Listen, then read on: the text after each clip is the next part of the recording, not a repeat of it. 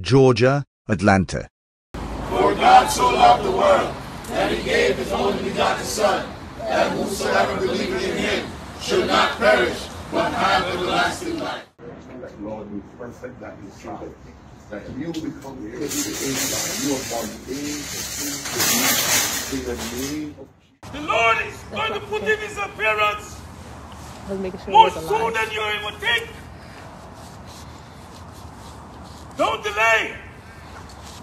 Now's the time appointed to declare the word of God.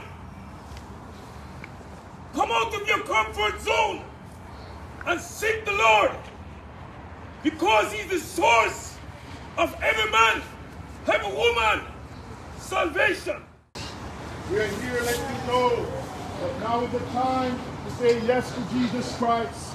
And now the time to turn from your sins and turn to Jesus Christ. Those of you who can hear me, you've heard the gospel. You know about church. But it's not enough to just hear it and know about church. But you have to turn from sin. Give up a life of sin and say yes to the Lord Jesus Christ. Jesus will say on the day of judgment, not just those who call him Lord, but those who do what he says.